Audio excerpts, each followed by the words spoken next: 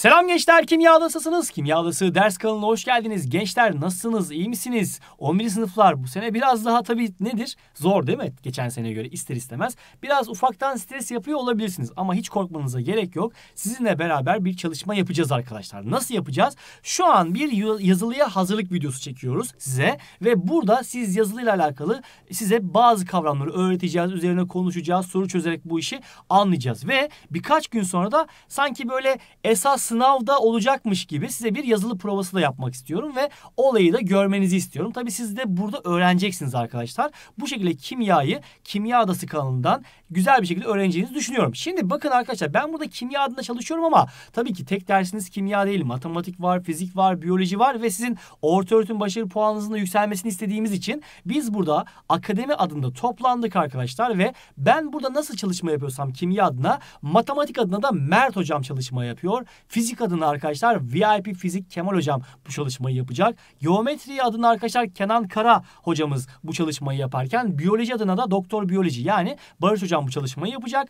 Türkçe ve edebiyat konusunda paragrafı sevdiren hoca yani Hamza Kaya hocamız bu size bu konuda yardımcı olacak. Coğrafyada arkadaşlar coğrafyanın kodları yani Yunus hocam bu şekilde çalışarak aynı şekilde kimyada biz nasıl yapıyorsak diğer derslerden de yüksek almanızı sağlayacak arkadaşlarımız arkadaşlar. Burada sizin arkadaşlar dersi takip etmeniz önemli, gayret etmeniz önemli ve bu şekilde süreci güzel şekilde değerlendireceğimizi düşünüyorum. Şimdi kimyaya başlıyoruz. Hadi bakalım arkadaşlar. Hepinize iyi dersler dilerim.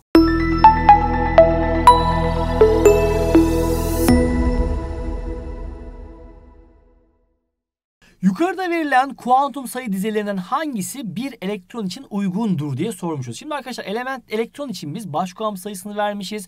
L'sini yani ikincil kuantum sayısını vermişiz. Manyetik kuantum sayısını ve spin kuantum sayısını vermişiz. Şimdi en baş kuantum sayısıysa arkadaşlar bu Tabii ki hepsi birbirine bağlıydı bunların baktığımız zaman. Şimdi L dediğimiz şey şöyle bir şey olması lazım arkadaşlar. L N'den küçük olması gerekiyor. Bakın bunu böyle söyleyelim. Şimdi o zaman arkadaşlar şöyle ki eğer n'imiz üçgen yani başkan sayısımız sayımız üçgen L ne olabilir? L 2 olabilir, 1 olabilir ve 0 olabilir. Hatta bak şöyle bir şey daha belirtelim isterseniz. L'nin kodları da vardı. Mesela L 0 iken bu S orbitaliydi. L 1 iken bu arkadaşlar P orbitaliydi. L 2 iken bu D orbitaliydi. L 3 iken üçgen arkadaşlar bu da nedir? F orbitalidir diye söyleyebiliriz. Şimdi bunu böyle söyledikten sonra bakalım. Acaba şimdi n eşittir üçgen L2 olabiliyor bakın. Yani neden? Çünkü üçgen 2 olabilir demişiz. Yani bu aslında D orbitali, 3D orbitalleri var. Aynı zamanda bakın ML neydi? ML şuydu. Eksi L 0 artı L idi. O zaman 2 ise bu hani eksi 2, eksi 1, 0, artı 1 ve artı 2'den birisi olabilir. Evet uygun. Ve bir tane elektronumuz var e, e, orbitalde. Tabii bunun yönü arkadaşlar şöyle baktığımız zaman ya yukarı yönlü ya da tersidir. Yani ya artı 1 bölü 2 ya da eksi 1 bölü 2'dir. O yüzden bakın bu seri de hiçbir problem yok görüyorsunuz. Bu olabilir. Peki n eşittir 4 iken L ne olabilir? L 3, 2, 1 ve 0 olabilir ve burada bakın 1 verilmiş olur. Bu da zaten p orbitallerini ifade eder. Ve ml'miz ne oluyor bu durumda? ml zaten neydi? Eksi l 0 artı l olduğuna göre bu 1 iken eksi 1 0 artı 1 olur. Bakın bu da uygun. E, elektron içinde zaten yön ya artı 1 bölü 2 ya eksi 1 bölü 2 bundan da bir sıkıntı yoktur. Peki gelelim buna arkadaşlar. Şimdi n eşittir 2 iken l2 olur mu? Hayır. Neden? Her zaman n'in l'den büyük olması lazım. Yani bu 2 iken l'nin ya 1 ya da 0 olması lazım. Yani 1 demek p orbitali demektir. 2 de 0 demek de s orbitali demektir. Dolayısıyla bu ifademiz olmaz. Dolayısıyla bunu biz eliyor, eliyoruz arkadaşlar. Bu olmayacak. Peki buna bakalım. n eşittir üçgen L değerimiz tabii ki 2 olabilir, 1 olabilir, 0 olabilir ki 1 var burada. Sıkıntı yok. Peki bak L1 iken e, ML'miz nedir? Eksi L 0 artı L. Yani eksi 1, 0 ve artı 1'den 1 olması lazımdı. Ama burada 2 vermişiz. Olmaz. Bu uygun değil arkadaşlar bu elektron için. O yüzden buna da bakmıyoruz. Bu seride yanlış oldu. Cevap da bu durumda Bursa olacaktır. Hadi bakalım ikinci sorumuza geçelim şimdi. Elimizde ne var? Fosfor atomu var. 15 elektronu var görüyorsunuz. At e, proton sayısı da 15. Bunların arkadaşlar e, dağılımında e, hangisinin kuantum sayılarına sahip elektronu yoktur diye sormuş. Şimdi biz bunu dağıtalım isterseniz. P15 bakın hemen bunu yazalım.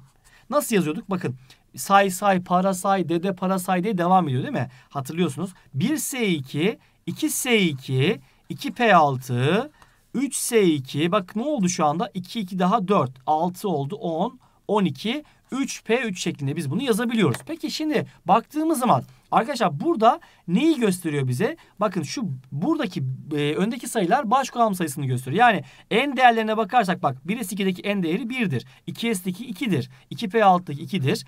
3s2'deki 3'tür. 3p3'teki 3'tür. Peki l değerlerine bakalım. Bakın şimdi arkadaşlar l 0 iken yani l'ye baktığınız zaman l 0 olursa bu bizim s orbitalini ifade ediyordu. Bu kod olarak gösteriyoruz bunu biz. l 1 olabilir, 2 olabilir, 3 olabilir. l 1 iken bu p orbitalini ifade ediyor. 2 iken d orbitalini ifade ediyor. 3 iken de f orbitalini ifade ediyor. Dolayısıyla şimdi bakın 1s2 diyoruz ya o zaman s orbitali ne demek? L'si 0 olması lazım arkadaşlar.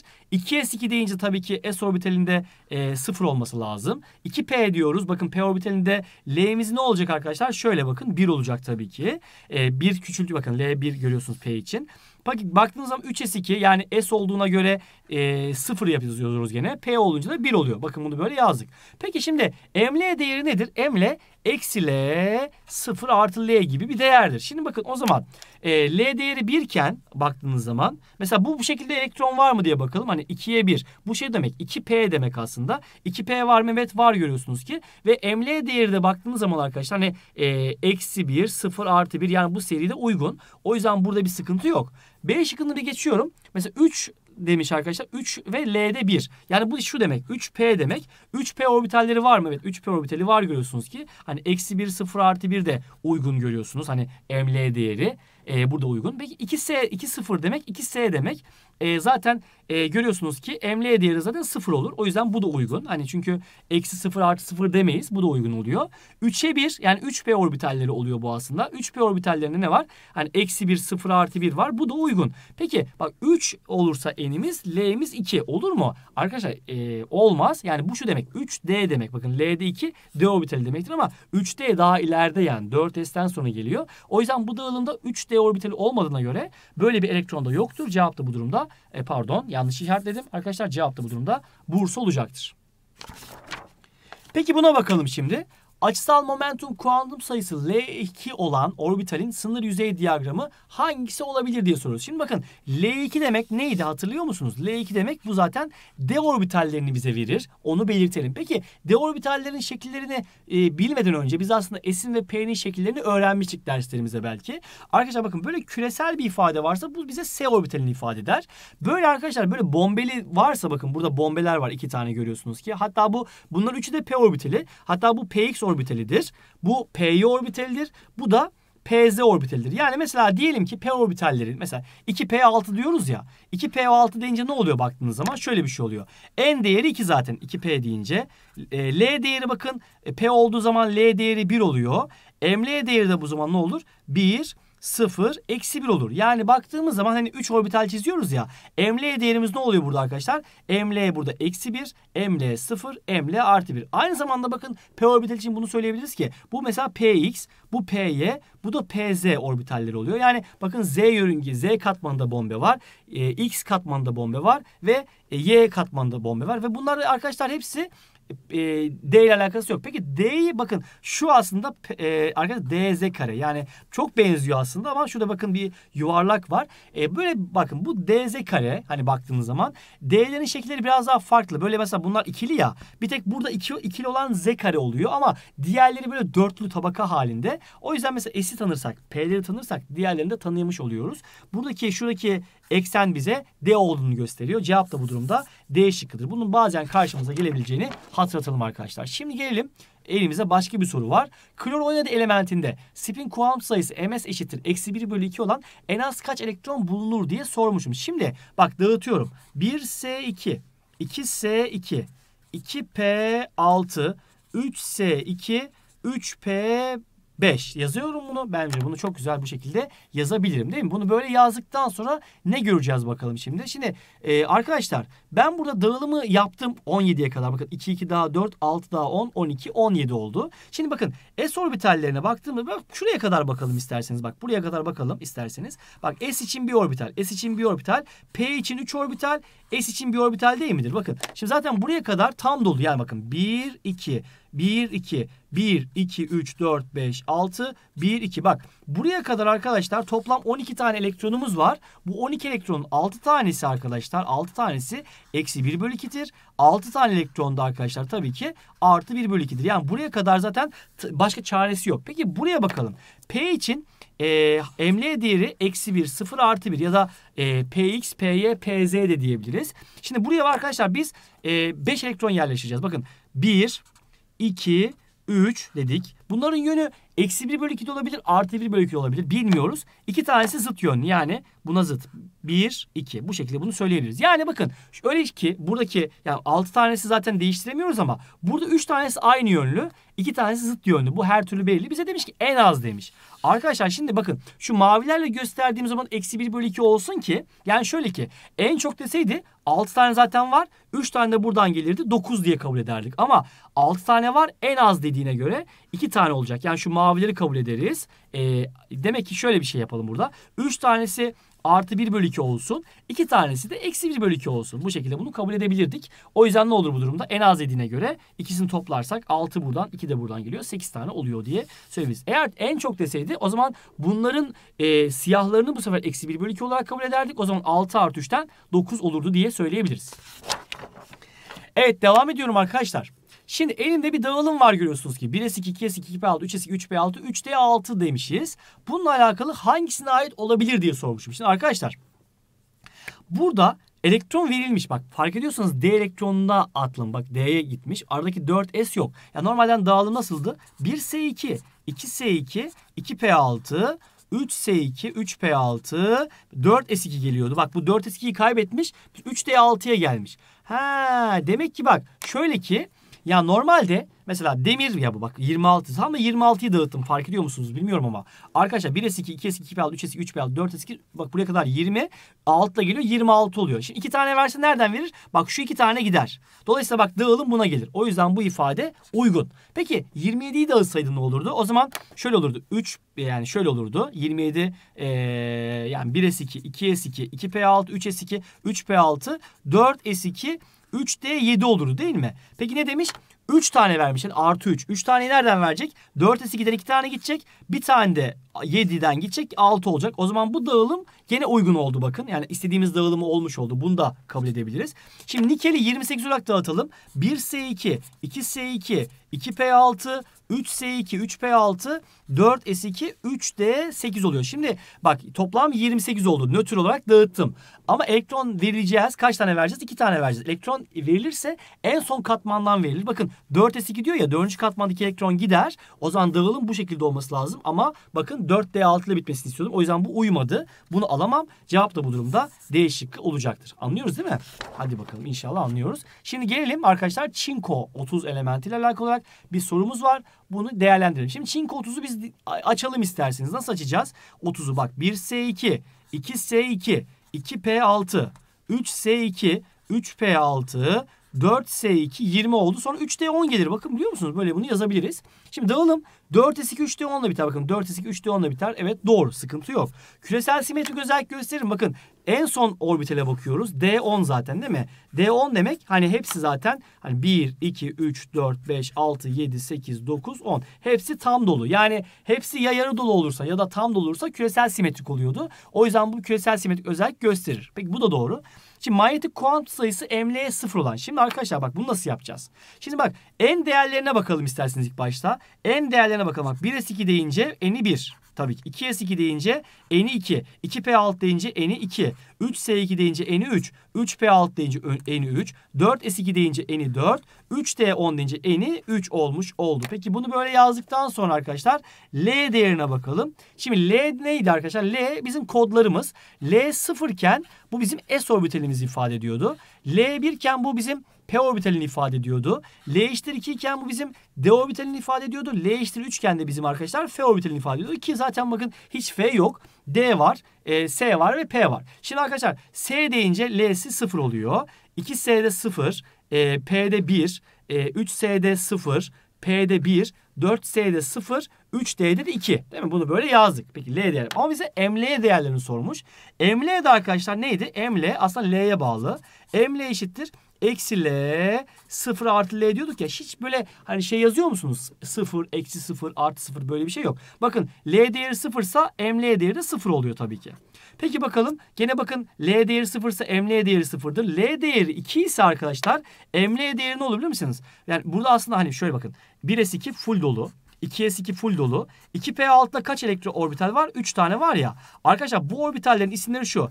Eksi 1, 0 artı 1'dir. Yani bunu bu şekilde belirtelim tamam mı? Bak bu şekilde bunu yazabiliriz. Demek ki 0 buradan da geliyor yani. Peki hemen bakalım 3S2'deki e, ML değerim zaten yine 0 oluyor. L 0 olduğu için. 2P6 gene aynı şekilde arkadaşlar. 3 tane orbitalimiz var bizim burada. E, 1, 2, 3, 4, 5, 6. Bak bunu böyle yazabiliriz. Hatta bunlar nedir? Eksi 1, 0 artı 1 oluyor görüyorsunuz. 4S'te ne olur? E, ML değeri zaten yine e, 0 olur arkadaşlar. Yani şöyle bir şey gösterebiliriz. Peki bak bu nasıl oluyor? Arkadaşlar ML değeri bak eksi 2, eksi 1, 0 artı 1 artı 2. Bak orbitalin ismini bu şekilde yazabiliriz. Peki bize ne diyor? ML değeri 0 olan kaç elektron var? Zaten bak ML değeri 0 olan 2 elektron buradan geldi. 2 buradan geldi. 2 buradan geldi. Yani S'deki tüm elektronların ML değeri zaten 0. P'deki 6 elektronun ML değeri İki tanesi sıfır, iki tanesi eksi bir, iki tanesi eksi iki. Yani bu e, iki tanesi artı bir. Yani daha doğrusu eksi bir, sıfır artı bir ya. iki tanesi artı bir oluyor. O yüzden bakın buradan da iki tane elektron geliyor. Gene S'den iki tane elektronumuz ML değeri sıfır. Gene P'ye bakın eksi bir, sıfır artı bir olduğuna göre gene iki tanesi burada oluyor. 4S'de gene iki tane elektronumuz var. 3D'de de arkadaşlar toplam 10 elektronumuzun iki tanesi görüyorsunuz ki ML değeri 0. O zaman bakın 2, 4, 6, 8, 10, 12, 14 elektronumuz var. Bu da doğru oldu. Cevap da bu durumda e şıkkı olmuş oldu arkadaşlar. Hatta bir şey söyleyeyim mesela burada yönü de sorabilirdik. Mesela 12 elektron var ya burada emniyet sıfır olan. 6 tanesi artı 1 bölü 2'dir. 6, 6 tanesi de eksi 1 bölü 2'dir. Neden? Hani bir orbitale 2 elektron yerleştiriyoruz ya. 1 artı 1 bölü 2 diğeri de eksi 1 bölü 2 olacaktır diye söyleyebiliriz değil mi?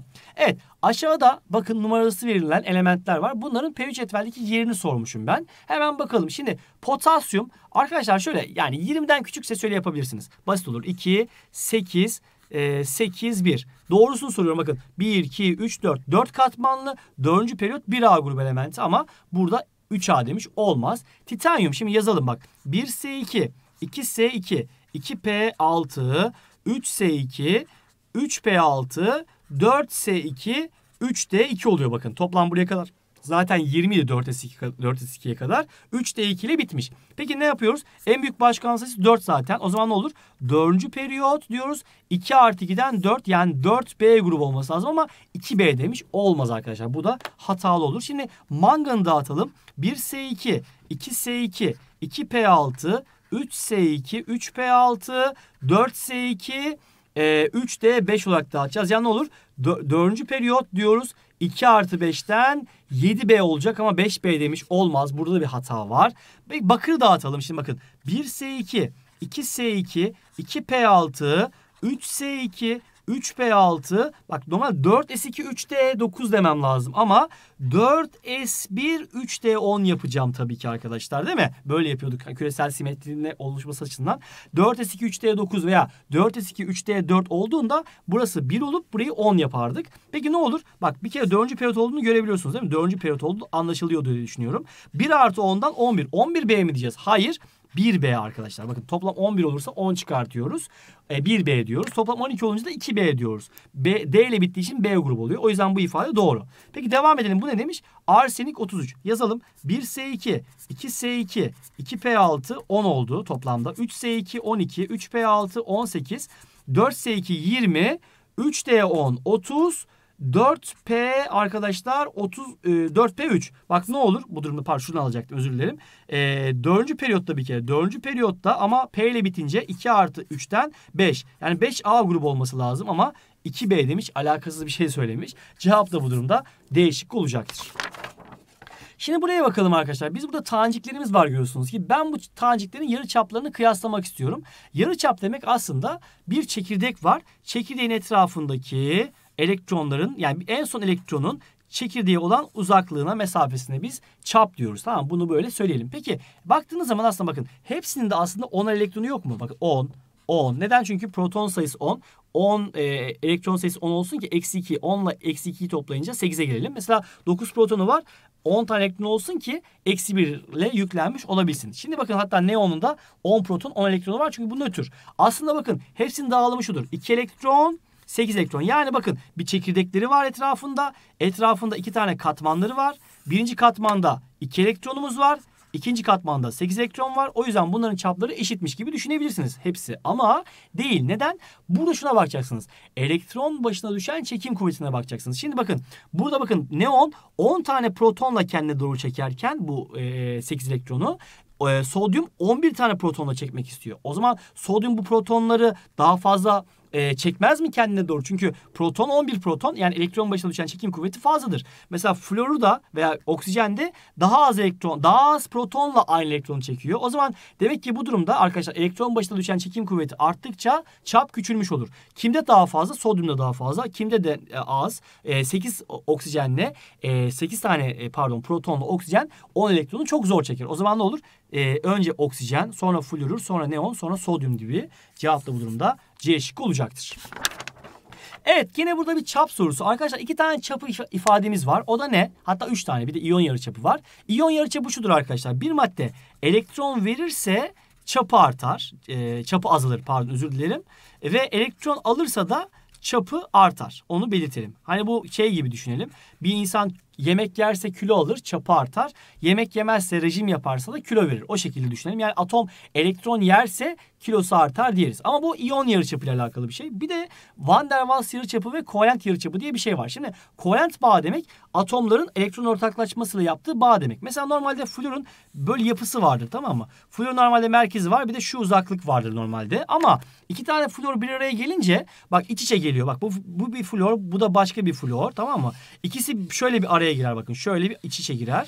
O yüzden bakın merkezleri burası ya. Merkezler arasındaki uzaklığımızın arkadaşlar şu bölgeye baktığımda şurada bir e, daralma olacaktır. Yani burasında olduğu gibi. İşte biz bu çapa kovalent yarıçap diyoruz. Peki iki tane molekül arasındaki mesafe ne diyoruz? Bakın şu şu bir molekül.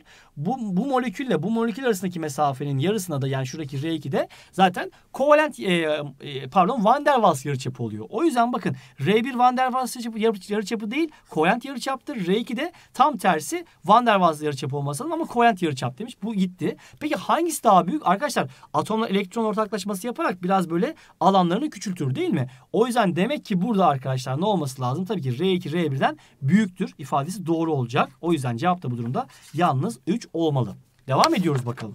Şimdi bakın ben burada iyonlaşma enerjisi tablosu vermişim size. E, K, R, A elementlerimiz var. Bunların arkadaşlar iyonlaşma enerjilerini görüyorsunuz. Tabii ki iyonlaşma enerjilerine bakarak biz elementler hakkında fikir sahibi olabiliyoruz. Bunların değer elektron sayısını bulabiliriz. Eğer e, gruplarının yani A mı B mi olduğunu söylerse grubunu bile bulabiliriz. Şimdi arkadaşlar demiş ki KRA maddelerine baktığımız zaman bunlar arkadaşlar bize burada baş grup elementleri demiş. Yani demek ki bunlar üçte A grup elementi.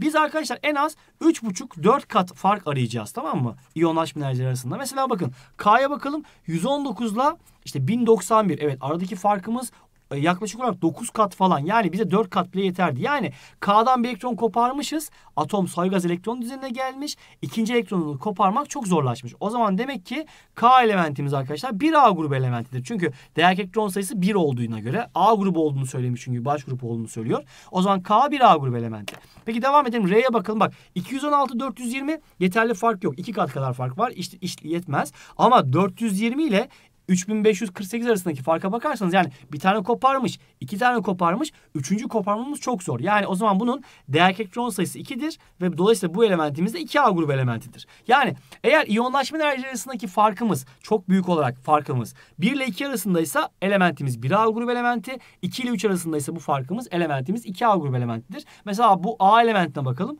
100 ile Evet 734 görüyor musun? Çok fark var. Yani 7 kattan fazla fark var. Bize 4 kat bile yeterli bu arada onu söyleyelim. Dolayısıyla bu elementimizde arkadaşlar e, ne olur? 2A grubu elementi olur ve bunu da değer e, pardon özür dilerim. Bu da 1A grubu elementi olur çünkü 1 ile 2 arasında ya bir tane koparmış elementimiz soygaz elektron düzenine gelmiş. ikinciyi koparmamız çok zorlaşmış. O zaman demek ki elementimiz 1A grubu elementidir ve değer elektron sayısı arkadaşlar burada 1 olacaktır. Pekala hangisi kesinlikle doğrudur diye soruyoruz. K ve R aynı periyotta bulunur. Nereden bilelim ki periyodunu? Yani bilemeyiz. Periyot hakkında tabii bakın K1A, R2A ama periyot noktasında bilemiyorum. O yüzden bu ifademiz yanlış olur. E, peki K'nın atom yarıçapı A'dan küçüktür. Şimdi bu nasıl bulabiliriz? K ile A'nın çaplarını nasıl kıyaslayabiliriz? Arkadaşlar bakın K ve A ikisi de bir A grubu elementi değil mi? Bak burası bir A grubu elementlerinden. Bir, bir A grubu diye düşünelim.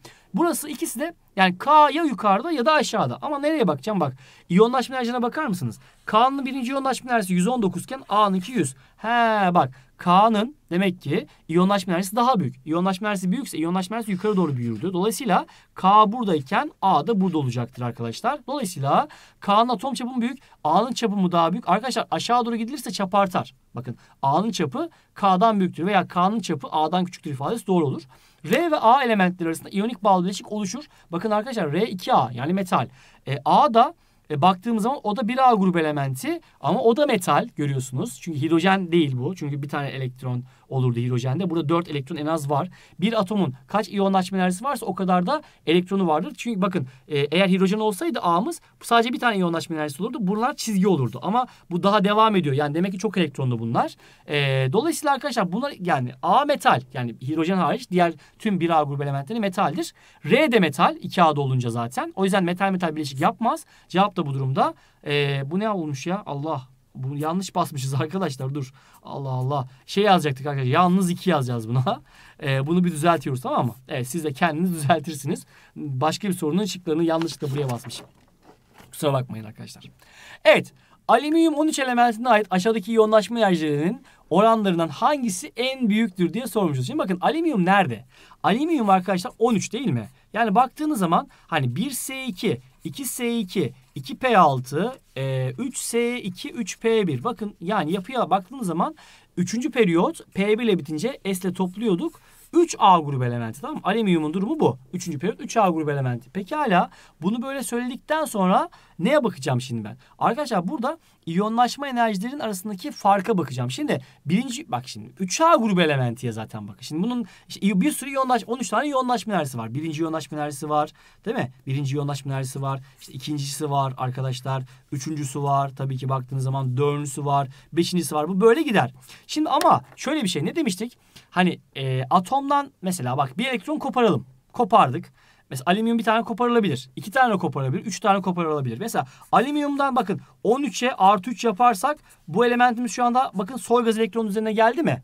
Bak mesela bir tane kopardık.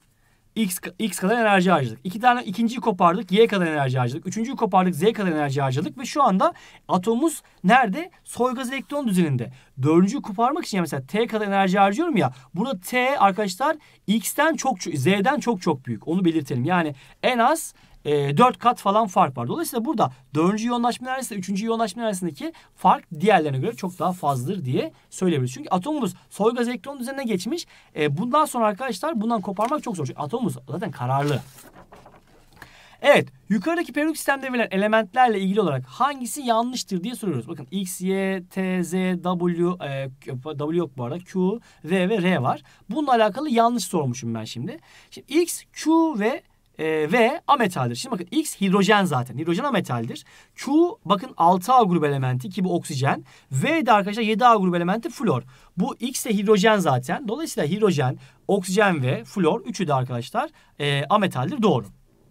T bakın şurada B grubu elementleri. Hatta bakın burası 3B, 4B, 5B ve 6B. Bakın bu aslında e, demir elementi bu arada değil mi? Yok pardon olur mu demir? Demir değil. Krom elementi pardon. Sonuçta dağılımlar arkadaşlar D ile biter. B grubu olduğu için. Sonuç itibariyle bu da doğru oluyor tabii ki arkadaşlar. Y ile R'nin değer elektron sayıları birbirine eşittir. Şimdi arkadaşlar Y'ye bakalım. Y nerede? Y'ye baktığımız zaman bu 2A grubu element. 2A grubu elementin değer elektron sayısı 2'dir. Peki R ne? R de helyum. Bakın normalde 8A grubunun değer elektron sayısı 8 olması lazım. Bakın normalde 1A 1'dir, 2A 2'dir, 3A 3'tür. Ama helyumun değer elektron sayısı 2'dir. Onu söyleyelim. Hatta dağılımda 1S2 ile biter. Ama helyumu niye oraya yazıyoruz? Çünkü helyum soy gazı olduğu için. iki protonu var ve soy gaz. O yüzden elektron sayıları eşit mi? Evet doğru. Evet aynı 2A grubu elementleri gibi. Şimdi iyonlaşma enerjisi arasındaki farka e, e kıyaslama yapmış. İyonlaşma enerjisi yukarı doğru ve sağa doğru artar. Yani bakın 7A zaten e, büyüktür diyoruz. Q var 6A'dan büyük. Sonra bakın şurası 3A değil mi? Sonra burası 2A. O zaman ne olacak? Ee, v, Q, Z, Y mi olacak? Hayır olmuyor. Neden? Arkadaşlar bir sapma olayımız vardı. Neydi o sapmamız? Hani 2A 3A'dan üstün oluyordu. Yani 5A'da 6A'dan üstün oluyordu. Çünkü küresel simetrik özelliği gösteren 2A ve 5A bir öne geçiyordu. O zaman sıralamamız şöyle olacaktır. 1A en küçük, 3A 2A olacaktır. Dolayısıyla 4A 6A 5 olacaktır ve daha sonra da 7A 8A olacaktır. Bak sıralamamız bu şekilde olması gerekirdi. O zaman demek ki iyonlaşma enerji arasındaki farkımıza bakarsak bak 7A'da bulunan hem yukarıda hem 7A'da zaten. Q arkadaşlar gene 6A'da olan e, ve yukarıda olan tabii ki diğer elementlere göre. Şimdi bakın Z 3A ama Y 2A. O zaman bakın burada kim olur? 2A, Y 3A'dan büyük. Yani Y büyüktür Z olması gerekirdi. O yüzden bu ifade yanlış. Atom çapı ise tam tersi. Sola doğru ve aşağı doğru artar. O zaman kimin çapı daha büyük? En aşağıda T var. Sonra Y bakın solda. Sonra Z var. Sonra da e, bakın arkadaşlar e, görüyorsunuz pardon nasıl olmuş? Evet T, Y, Z ve R en küçük zaten. Evet bunu da bu şekilde ifade ediyoruz arkadaşlar. Bunda bir sıkıntı yok. Yani aşağıda T var sonra Y sonra Z sonra da R e, ifadesi doğru oluyor. İyonlaşma enerjisi arasındaki farkımız yanlış vermiş. Cevap da bu durumda değişik olacaktır. Hadi devam ediyorum şimdi arkadaşlar buraya. 13. sorudayız. İnşallah verimli geçiyordur sizler için arkadaşlar. Yani olayları anlamaya çalışıyoruz. Şimdi yukarıda verilen denklemlerle alakalı olarak hangisi doğrudur diye sormuşum. Şimdi X elementimizin e, olayı ne? Bak iyonlaşma enerjisi nedir? İyonlaşma enerjisinin olayı şu. Gaz halindeki nötr bir atomdan bir elektron koparmak için gereken enerjiyi biz birinci iyonlaşma enerjisi diyoruz. Bakın X gaz halde nötr. E, X'ten bir elektron koparmışız. Bakın artı birle yüklemişiz X'i. Ve burada harcadığımız E1 kadar enerji birinci iyonlaşma enerjisi ifadesi doğru oluyor. Peki buna bakalım arkadaşlar. 2'de ne yapmış? 2'de de aynı şeyi yapmış gibi ama bak o katı halde. He arkadaşlar o zaman bu yanlış. E2 ne biliyor musunuz? E2 e, hal değişim ısısı yani önce katıdan sıvıya geçilir artı iyonlaşma enerjisi oluyor. Yani birinci iyonlaşma enerjisi. Yani bu o zaman e, E2 büyüktür E1 ifadesi doğru oluyor. Yani çünkü E1 birinci iyonlaşma enerjisi olduğuna göre e, onun üzerine bir hal değişim ısısı da koymuşuz. Çünkü önce gaz haline getiriyoruz ondan sonra elektron koparıyoruz ya. O yüzden bu da doğru olmuş oluyor arkadaşlar. Bir sıkıntı yok. Peki E3'e bakalım. E3 ne yapmış? E3 arkadaşlar şu. Bakın e, nötr halde bulunan atoma dan iki elektron birden koparmışız. Yani bu ikinci yoğunlaşma enerjisi değil bir kere onu belirtelim. Bu ne peki hala bakın. Bu o zaman şöyle aslında. Elimde X atomu var nötralde. E1 kadar yani birinci yoğunlaşma enerjisi E1 kadar diyelim. Bu X'i artı 1 ile yükleriz ve elektronu fırlatırız. Sonra elimizde bulunan X artı 1 iyonu gaz halde bulunan X artı 1 iyonuna bu sefer mesela diyelim ki e, Y kadar enerji verdik diyelim. Bu da bizim e, ikinci yoğunlaşma enerjisi olacak arkadaşlar. Dolayısıyla X artı 2 olur değil mi? Artı arkadaşlar e ne olur bu durumda? Bir elektron daha koparıyoruz. Dolayısıyla şimdi burada bak bunları topladığınız zaman x'i ne yapıyorum? x de x'e aslında e1 artı y kadar enerji harcadığımda x artı 2 ve toplam 2 elektronu koparmış oluyorum. Aslında E1 yani şu E3 dediğimiz şey o zaman ne olur? Hem birinci yoğunlaşma enerjisi hem de ikinci yoğunlaşma enerjisidir. Peki o zaman E1 artı E2 E3 verir mi? Hayır. Çünkü E2 zaten ikinci yoğunlaşma enerjisi değil ki. E2 dediğimiz şey burada hal değişim enerjisiyle birinci yoğunlaşma enerjisinin toplamıydı. Dolayısıyla bu ifademiz yanlış olacak. Cevap da bu durumda C şıkkı olacaktır arkadaşlar. Yani E3 değerimiz aslında burada birinci ve ikinci yoğunlaşma enerjilerinin toplamıdır. 14. soruda devam ediyoruz. Elinde x artı iyonu var. Y eksi 1 eksi 2 var ve z var.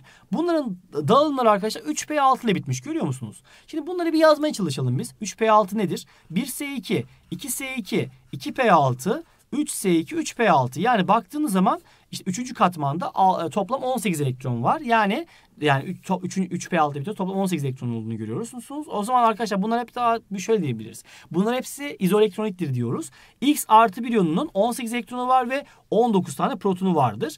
Y eksi 2 iyonunun 18 elektronu ve 16 elektron protonu var. Çünkü eksi 2 ile 18 toplarsak 16. Yani 2 elektron alarak bu kendini 18 yapmış. Nötralde 16 vardır. Z'nin zaten 18 protonu var. Nötr olduğunu görüyoruz ve 18'de elektron olduğunu, 18 proton, 18 elektron gö görebiliyoruz. Peki bakalım. Çekirdek yükü demek proton sayısı demek. En büyük olan bakın 19 ile x. Evet bu doğru.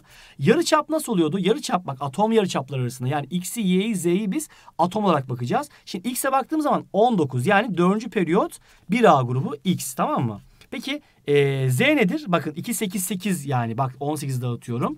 O zaman e, Z de bu durumda 3. periyot 8A grubu oluyor. Y'ye bakalım 2, 8, 6 yani yer bulduğunuz zaman. Y de arkadaşlar 3. periyot 6A grubu elementi. Peki iyonlaşma enerjisi nasıl artardı? Bak öyle bir şey ki sola doğru ve aşağı doğru artardı tamam mı?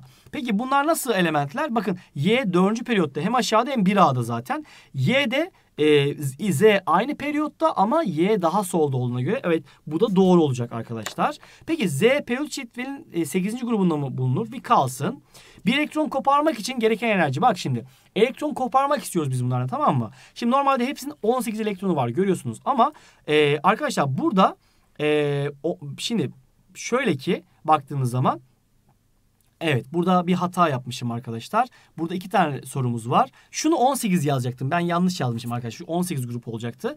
Ee, onu bir düzeltelim. Yani Z burada 8A grubu elementidir ve 18. grupta olacak. Bu da doğru olacak. Onu belirtelim tamam mı? Onu böyle yazdık. Şimdi bir elektron koparılması için gereken enerji, verilmesi gereken enerji miktarı. Şimdi bak X elementi 19 protonla 18 elektron çekerken siz buradan elektron koparmak istiyorsunuz. Peki Y ise 16 protonla 18 elektronu kendine doğru çekmek istiyor. E buradan elektron koparmak en kolay değil mi? 16 protonu ne kadar çekebileceksin ki 18 elektronu? Yani o zaman elektron başına düşen çekim kuvveti artarken e, ne yaparız? Elektronu daha zor koparırız. Yani 19 protonla 18 elektron X'e daha yakındır. Dolayısıyla biz şimdi bu X'ten elektron koparmak için ekstra çok çaba harcamamız lazım. O yüzden Y-2'deki en fazladır demiş. Hayır. X'teki en fazladır. Tabii şu an çalışıyoruz arkadaşlar. Yani şurada bir hata yaptım ama hemen gömmeyin beni bazen hata yapabiliyoruz yani. E, kusura bakmayın. Şimdi nötr x, y, z'nin açısal momentum kuantum sayısı L eşittir 1 olan en az elektron y'dedir diye sormuşuz. Şimdi acaba öyle mi gerçekten? Şimdi L1 demek aslında p orbitalleri demektir biliyorsunuz. Şimdi p orbitallerine bakalım. Şimdi x'i dağıttığımız zaman x'i nasıl dağıtırız? 19 protonu. 1s2, 2s2, 2p6, 3s2, 3p6, 4s1. Bakın ne olur 2p6'dan ve 3p6'dan toplam 12 elektron var X'te. Peki Z'ye bakalım. O da 1S2, 2S2, 2P6, 3S2, 3P6. Bakın görüyorsunuz ki 2P6 ve 3P6'dan toplam 12 elektron da burada var. Görüyorsunuz. Peki e, Y'ye bakalım. Y 16, 1S2, 2S2, 2P6, 3S2, 3P4. Bak ne olur? Ee, görüyorsunuz P'de 4 buradan altta buradan toplam 10 elektron var yani. He, en az Y'dedir. Evet doğru. Sıkıntı yok. Ben burada arkadaşlar cevabı D olarak işaretlemek istiyorum. Evet devam edelim. Yukarıdaki periyodik sistemden bir kesit verilmiştir. Görüyorsunuz X, Y, Z elementleri, T ve Q elementleri var. Bununla alakalı nedir diye soruyor. Şimdi Y alkali metaldir. Bakın 1A grubu elementleri hidrojen hariç alkali metaldir. Evet doğru. Q halojendir. Q 7A grubu elementi flor halojendir. Doğru. Z'nin temel elektron dizilimdeki açısal momentum kuantum sayısı L eşittir 2 olan 10 elektron bulunur. Şimdi arkadaşlar baktığımız zaman şimdi L eşittir 2 demek D orbitali demektir. Z 1B grubu elementi. Yani mesela proton sayısı 29 bu arada onu belirtelim. Nasıl dağıtacağız? 1S2, 2S2, 2P6, 3S2, 3P6. Şimdi 4S2, 3D10, 4S2 3D'ye 9 mu diye dağıtacağım? Hayır böyle dağılım olmuyordu. Nasıl oluyordu? Atom küresel simetrik özellik gösterebilmek için 4s1 3d 10 olmasını bekliyoruz ki bakın d orbitallerinde 10 elektron var. O yüzden bu da doğru yani baktığınız zaman. T, Q ve X P bloğum. Bakın şimdi. T evet 3A grup elementi P1 ile biter doğru. E, Q 7A grup elementi P5 ile biter dağılım doğru. Ama X burada helyumdur. 1S2 ile biter. Yani 8A'da olan diğer elementler gibi değil eğer mesela burada atıyorum bir neon elementi var. Mesela bu e, 1s2, 2s2, 2p6 ile biterdi. Yani P grubudur, P bloğudur. Ama X burada arkadaşlar S bloğu elementidir. O yüzden bu ifade yanlış. Q ise 7A grubunda olduğu için her zaman eksi 1 yani daha doğrusu flordur bu Q aslında. 7A'da bulunan elementlerimiz bu arada eksi 1 ile artı 7 arasında bir değişken yük alır ama bu arkadaşlar flor için hariç. Flor bu yükü alamaz. Flor sadece eksi 1 alır ki bu da doğru oluyor. Cevap da bu durumda D şıkkı olacaktır. Hadi bakalım. Evet yine yükseltgen basamakla alakalı. Bak işte en son yükseltgen ile alakalı bir şey söyledik. Şimdi burada karşımıza geldi. Şimdi biz ne yaparız? Bildiğimiz elementlerden yardım olarak bilmediğimiz elementlerin yüklerini bulabiliriz. Şimdi sodyum. Sodyum nerede? Sodyum 1A grubu elementi. Yani yükseltgen basamağı artı bir bileşik halinde olunca. Kükürtü bilmiyoruz. X diyelim bunu arkadaşlar. Oksijen de zaten eksi 2 alıyor. Tamam mı? Bak oksijen hep eksi 2 alır. Yani bir tek e, peroksitlerde eksi 1 alıyor da o da çok karşınıza gelmez. Oksijeni görünce eksi 2 diye yazabilirsiniz. Mesela peroksit dediğimiz şey ne aslında? Şu sodyum oksit gibi işte H2O2 gibi yani bir A grubu elementleriyle alakalı beklediğimizin farklı bir bileşiği varsa burada oksijen burada eksi bir oluyor mesela sodyum artı birken o 2 kere 1 artı 2 eksi 1 çarpı 2 eksi 2 bak sıfıra gelecek. Şimdi bakalım bunu inceleyelim şimdi. 2 tane sodyum bak 2 çarpı 1 diyorum sodyum 1 olduğuna göre artı kükürtte x artı 4 çarpı eksi 2 diyorum ve bunu ne eşleyeceğim bakın bunu sıfır eşleyeceğim. Toplam yükümüz sıfır olacaktır arkadaşlar ve bu durumda eksi 8 2 daha eksi 6 o zaman burada da e, kükürtün yükü artı 6 olacaktır. Peki devam edelim. Alüminyum Alüminyum 3A'da bakın. Artı 3'tür zaten yükü. Onu belirtelim. Oksijen zaten eksi 2. Biz e, fosfor istiyoruz. 3 e, alüminyumdan geliyor. Artı bir tane fosfordan geliyor X zaten. Artı oksijenden eksi 2 geliyor. Ama 4 tane oksijen var. Ve bu da arkadaşlar 0 olacak toplamda. Ve ne olur toplamda? Artı 5 olarak yükümüzü söyleyebiliriz. Bakın toplam 0'a gelecek. Ve magnezyum karbonat. Magnezyum 2A'da. O yüzden yükü artı 2. Oksijen zaten eksi 2. Karbonu bilmiyoruz. E, magnezyum artı 2. Karbona x diyelim. Oksijende 3 kere eksi 2 eşittir ne olacak? 0 eşit olacak. 3 kere eksi 2 eksi 6 2 daha eksi 4. Bak bu da artı 4 geldi mi? Bunu da böyle işaretlersek cevap bu durumda E şıkkı gelecektir arkadaşlar.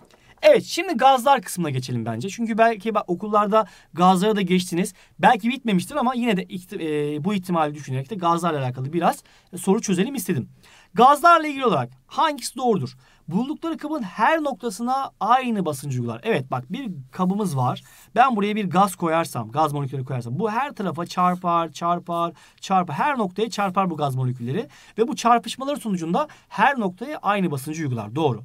Kinetik enerjileri mutlak sıcaklıkla ters orantılıdır. Arkadaşlar gaz deyince zaten kinetik enerji diye düşüneceksiniz. Ortalama kinetik enerji deyince mutlak sıcaklık. Tamamen doğru orantılıdır. Yani hiç böyle bir şey yok. Ortalama e, yani kinetik enerjisi e, artarsa sıcaklığı artmıştır zaten o gazın. Kesinlikle. O yüzden bu ifademiz yanlış oluyor. Genleşme kasları eşittir. Evet tüm gazlar aynı oranda genleşir. Yani gazlar genleşemez değil. Mesela gazlar sıcaklık etkisiyle mesela biz elimizde bir kap olsun, pistonlu kap olsun. Diyelim ki burada helyum gazı var diyelim. Ben bu kabın sıcaklığını artırırsam bu kabın pistonu yukarı doğru hareket eder. Yani gaz genleşir. Ama burada helyum gazı değil. Mesela başka bir gaz. Mesela karbondioksit gazı da olsaydı gene genleşecekti ve aynı oranda genleşecekti. O yüzden gazların genleşme kasları eşittir ifadesi doğru oluyor. Yani her gaz genleşir, aynı oranda genleşir. Cevap da bu durumda C şıkkı olacaktır. Devam ediyorum aşağıdaki birim çevirmelerinden hangisinde hata yapılmıştır diye soruyoruz. Şimdi arkadaşlar bakalım. Ee, şimdi bak ne vardı olayımızda? Mesela aşağıdan doğru gidelim isterseniz. E, litre ile desimetre küp aynıydı. O yüzden bu ifade doğru. Bir ATM zaten 76 santimetre civa ya da 760 milimetre civa. Bu da doğru. Celsius görürseniz üzerine 270 ekleyerek Kelvin'i bulursunuz. O yüzden arkadaşlar ee, ne oluyor? 25 artı 2, e, 273'ten 298 Kelvin oluyor. Evet bu da doğru oluyor arkadaşlar.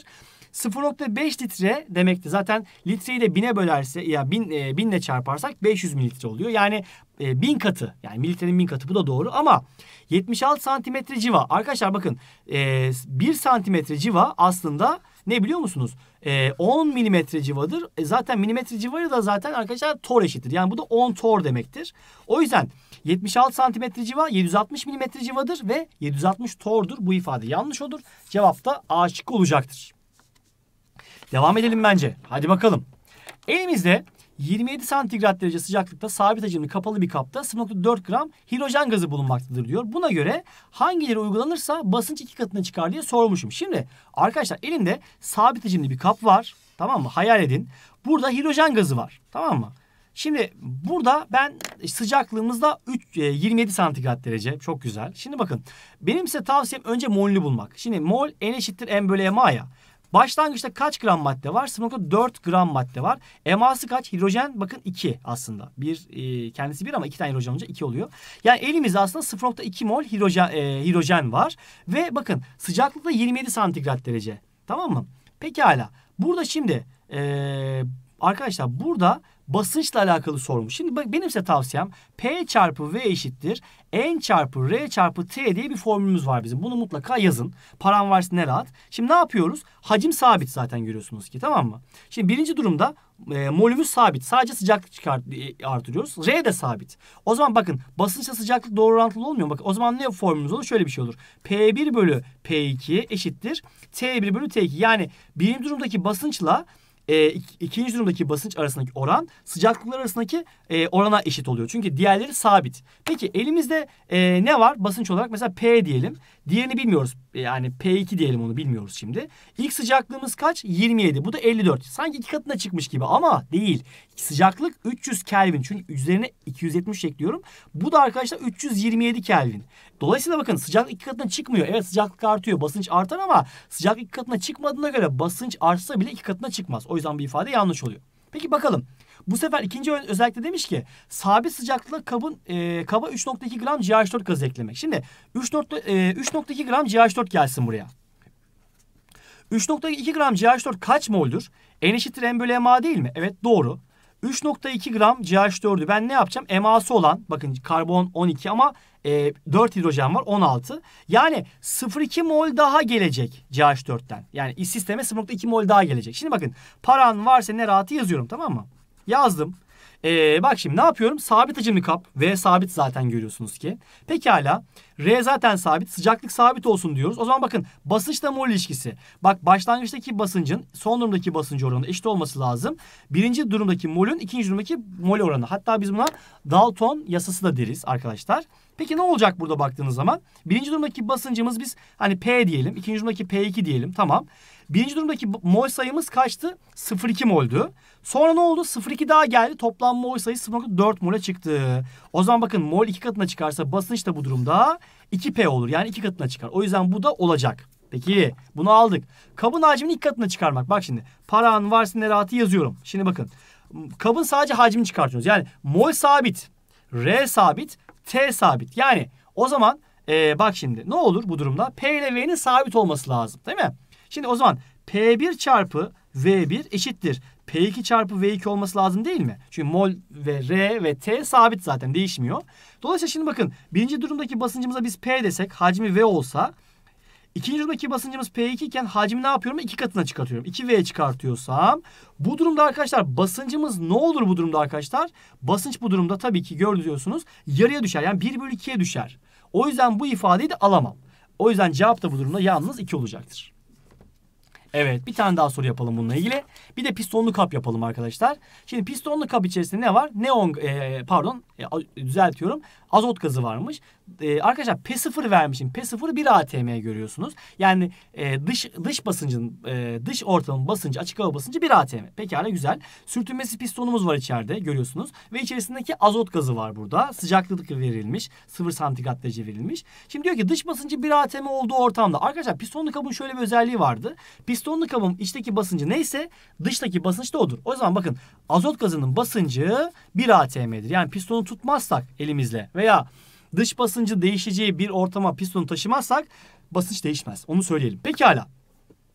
Ben ne yapıyorum? Bu pistonlu kaba 7 gram N2 gazı var. Hemen N2'nin molünü bulalım. Yani N2 gazının molü nasıl bulunur? N eşittir M bölü MA'dan bulunur. Kütle bölü MA'sı. Kaç gram? 7 gram. Azotun e, ağırlığını vermemişiz. Hemen verelim. Azot 14'tür. 2 tane azot 28. Yani burada bakın ne olur? 1 bölü 4 mol elimde azot var tamam mı başlangıçta. Ve basıncı da 1 atm görüyorsunuz ki. Ve hacmi de 5.6 litreymiş. Çok güzel. Bunu da vermiş bize. Sıcaklığı da işte belli bir sıcaklığı var. T Kelvin falan filan. Şimdi diyor ki kaba ne yapacağız? Ne yaparsak diyor kabın hacmi iki katına çıkar. Şimdi bakın paran varsa ne rahat. Bu tür kaplarda eğer piston serbestse dışarıdan gaz ilavesi de yapsak, sıcaklığını da artırsak, yani ortamı değiştirmedikçe, piston tutmadıkça basınç değişmez. Gene ilave ettiğim gazla beraber toplam basıncımız yine 1 atm olacaktır. Peki e, sıcaklığımız zaten sabit. R zaten sabit. Ne yapıyorum? 8 gram oksijen gazı ilavesi yapıyorum. Arkadaşlar 8 gram oksijen hemen molünü bulalım. Bu arada oksijenin de eması 16. Onu da yazalım buraya. E, N eşittir M bölü MA'dan oksijenin molünü bulalım. 8 bölü MA'sı arkadaşlar 32 değil mi? Bir tanesi 16 ya. iki tanesi 32 oluyor. 1 bölü 4 mol. Yani bak ne oluyor biliyor musunuz? Bakın burada hacimle mol ilişkisi. O zaman ne olur? V1 bölü V2 eşittir. N1 bölü N2 olur. Yani eşitlikte V ve N kaldı. Birinci durumdaki arkadaşlar hacmimize biz V dersek. ikinci durumdaki arkadaşlar V2 dersek. Birinci durumdaki mol sayımız 1 bölü 4 molken ilave ettiğim 1 bölü 4 molle ne oldu? Mol sayısı 2 bölü 4 oldu. Yani mol iki katına çıkarsa hacim de bu durumda V'den 2V olmaz mı? Kesinlikle olur. O yüzden bu ifadeyi alacağız. Çünkü biz hacmi iki katına çıkarmak istedik. Olur. Peki sıcaklığı istemiş sadece. Bakın şöyle yapıyoruz. Paran varsa ne rahat yazıyorum tamam mı? Şimdi sadece sıcaklıkla alakalı. Bir kere bu tür kaplarda demiştik. Eğer piston serbestse veya pistonu biz bir yere götürmezsek basınç sabittir. Bunu söyleyelim. Çünkü iç basınç dış basınç eşittir her zaman. O yüzden sabit. Peki R zaten sabit. Mol de sabit. Bu sefer madde ilavesi yapmıyoruz. O zaman bakın hacimle e, sıcaklık arasındaki ilişki doğru orantılı. Yani formülümüz şu olur. V1 bölü V2 eşittir T1 bölü T2. Başlangıç sıcaklığımız kaçtı bakın. Başlangıç sıcaklığımız arkadaşlar. Ee, buraya yazmamışım ben onu ya. Evet başlangıç sıcaklığımız arkadaşlar şöyle onu belirtelim. Yazmışız pardon özür dilerim yazmışız gördüm. Başlangıç sıcaklığımız 0 santigrat derece ama 273 Kelvin'dir bu. Sonraki sıcaklığımızı 273 santigrat derece çıkarmak demek 273 çarpı 270 yani 546 Kelvin'e çıkarmak demektir. Yani sıcaklık T'den 2T'ye çıkarsa yani sıcaklık iki katına çıkarsa hacimde ne olur? V'den 2V'ye çıkmaz mı? Evet hacim iki katına çıkar o yüzden bu da olacaktır arkadaşlar. Peki kabı sabit sıcaklıkta dış basıncın 38 santimetre civa olduğu ortama götürmek. Evet bak bu sefer pistonu bir başka bir yere götürüyoruz tamam mı? Arkadaşlar bakın paran varsa ne rahatı yazıyorum. Bu sefer şöyle bir şey oluyor. Pistonlu kapta olay neydi? İç basınç her zaman dış basınç eşitti. Yani şöyle başlangıçtaki basıncımız P0'ımız 76 santimetre civa olduğu için yani bir ATM 76 santimetre civadır. Başlangıçtaki basıncımızın 76 santimetre civa olduğu bir ortam vardı tamam mı? Şimdi sen ne yaptın bu durumda arkadaşlar? Ee, basıncı 38 santimetre civayı ayardın dış basınç. O zaman basınç bu durumda yarı yarıya düştü. Yani basınç değişiyor bu durumda tamam mı? Peki mol sabit, R sabit, T sabit. O zaman formülümüz ne olur? Basınç değişirse bunu hacim dengeler. O zaman P1 çarpı V1 eşittir P2 çarpı V2 diyorum. Başlangıç basıncımız 76 santimetre civaydı. Hacim mesela V kadardı diyelim. Sonraki biz basıncı yani kabı 38 santimetre civalık bir yere götürürsek o zaman kap ne yapar? Onun basıncını alır. Yani o zaman bu durumdaki basıncı 38 olur. Acaba hacim ne olur? Hacim bu durumda V'den 2V'ye gelir. İşte bakın hacim gene iki katına çıkmış oldu. Cevap da bu durumda E şıkkı olmuş oldu. Arkadaşlar inşallah anlamışsınızdır. Biraz uzattım belki ama hani farklı farklı sorular çözmek istedim. Bu bir ön hazırlık videosuydu. Bir de e, ne yapacağız? Size yazılıya hazırlık, yazılı provası yapacağız inşallah. Tabii diğer branşlarda da mutlaka takip edelim arkadaşlar. Sadece kimya değil, diğer derslerimiz de önemlidir. Kendinize iyi bakın arkadaşlar. Görüşmek üzere.